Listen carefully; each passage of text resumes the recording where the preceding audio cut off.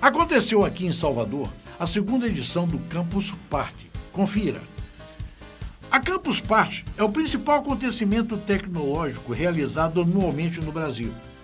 Nele são tratados os mais diversos temas relacionados à internet, reunindo um grande número de comunidades e usuários da rede mundial de computadores envolvidos com tecnologia e cultura digital.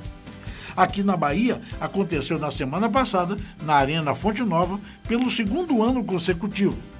E a Ford promoveu a formatura dos 100 alunos do programa Ford de Educação para Jovens.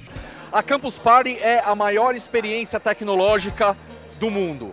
E a Campus Party é um evento que reúne uh, empreendedores, geeks, jovens ligados em inovação, desenvolvimento, design. Então é um grande celeiro de talentos e pessoas muito interessadas na parte de tecnologia, desenho, inovação, startups. Então é um, um celeiro de talentos, muitas ideias novas, uh, muitos projetos na parte de tecnologia, desenho, desenvolvimento. E para nós da Ford, que muito mais do que uma montadora, somos uma empresa de tecnologia e soluções em mobilidade, tem tudo a ver para a gente estar tá aqui, que a gente bebe na fonte de inovação, de empreendedorismo, de startups, desses jovens, desses meninos e meninas trabalhando, vendo a vanguarda da tecnologia, tecnologia a serviço das pessoas, a serviço das comunidades.